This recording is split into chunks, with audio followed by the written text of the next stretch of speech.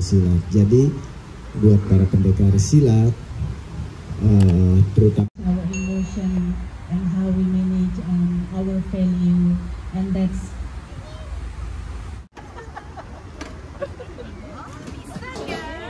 will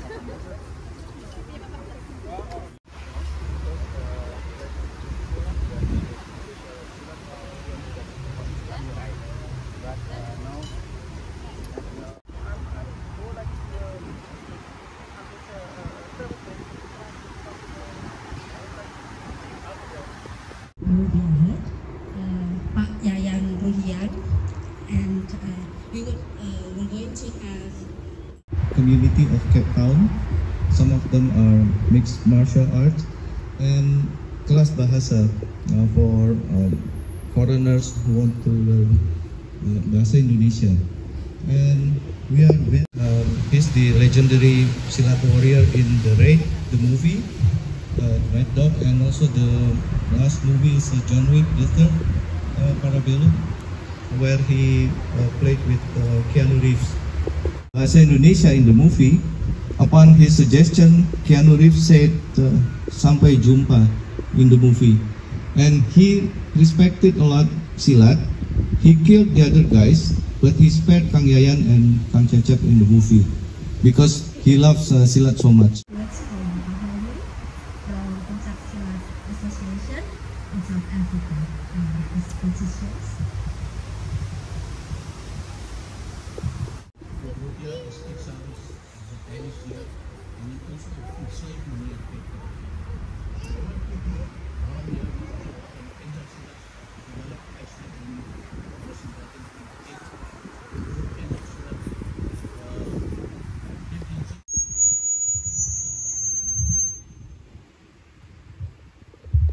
to be here meeting other Pencak Silat lovers um, and hopefully through Pencak Silat uh, we can always uh, promote and introduce Indonesia.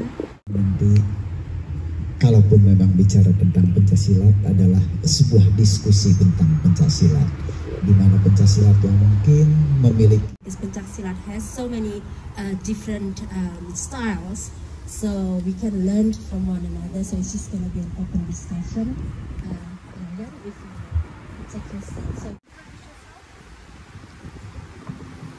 Uh, selamat siang, saya bernama Ismail, panggilannya Izzy. Um, sudah telah menghabiskan 12 tahun di Indonesia. Setelah itu bekerja 2 tahun untuk KJRI.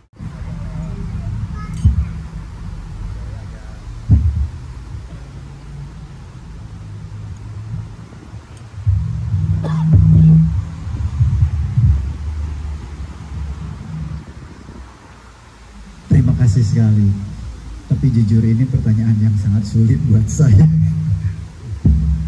Thank you for the uh, question, but it's actually quite a difficult one for me. Eh, saya mungkin mencoba me- merangkum. Jauh sebelum sebelum saya masuk ke dunia entertain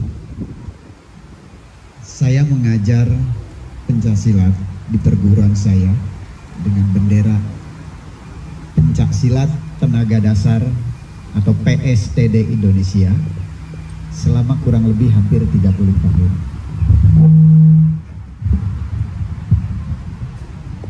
Dan saya belajar dari semua orang saya ketahui.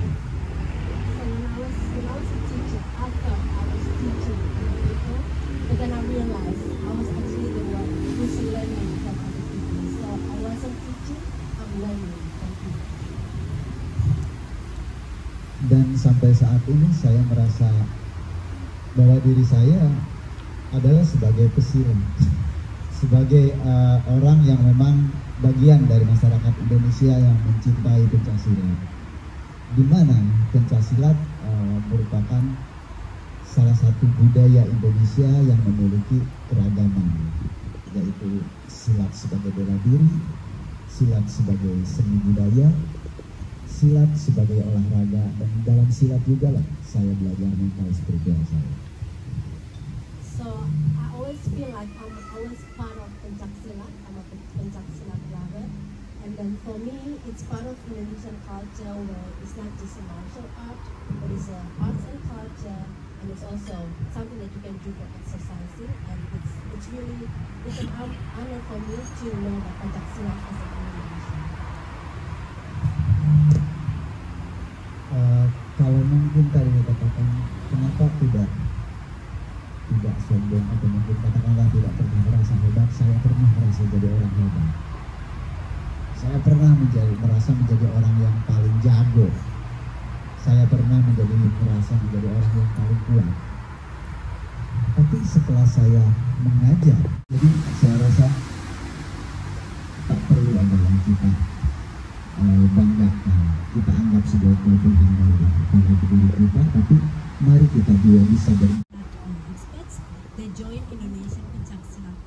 to, to join the festival in uh, Paris, uh, France.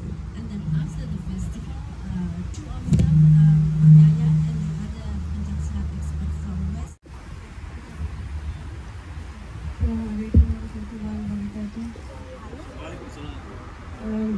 nama saya Raifah. Saya um, sebenarnya pemalu. um, saya uh, pernah belajar di Indonesia tahun 2003 sampai 2005. Dan waktu itu saya ikut latihan um, setia hati terasih. Sampai sekarang saya uh, tetap jadi siswa latihan itu dan uh, silat lain. Alhamdulillah saya tertarik panggil tangan uh, bapak maaf bahasa saya agak uh, kaku. um, yang saya ingin tanya sudah berapa tahun saya kembali kan ya memang itu perguruan yang besar. Baik itu dalam segi organisasi ataupun tapi hati nurani dan kemanusiaan pasti akan sama. Sebagai manusia di mana manusia punya sisi baik dan buruk berdua yang kami terima dan salam silaturahmi dan salam kasih tentunya dari dari saya. Okay, so Pak Yayan say um, before he came here, he already coordinated. Bisa menjaga dan menyebarkan Pancasila. Mengajarkan Pancasila tidak saja kepada diri kita, tapi juga kepada banyak orang. Banyak hal yang bisa kita dapatkan dalam bela diri. Saya lebih eh, suka mengatakan martial art, um, like I also mentioned before, it's just not martial art, and he is uh, the silat. Jadi buat para pendekar silat, eh, terutama please Pak.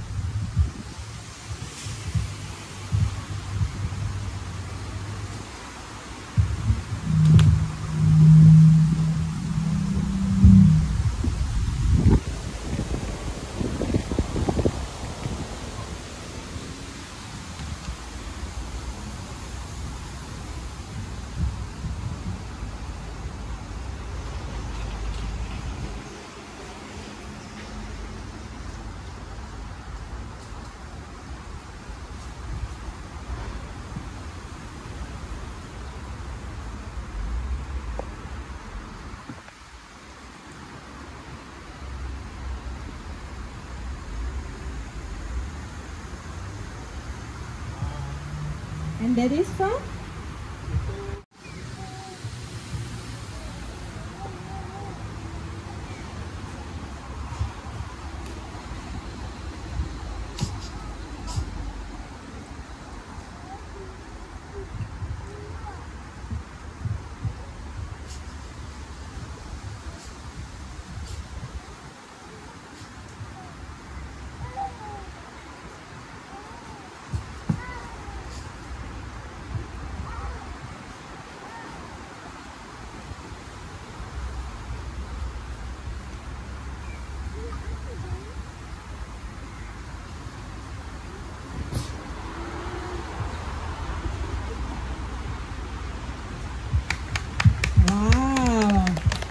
I like the second one.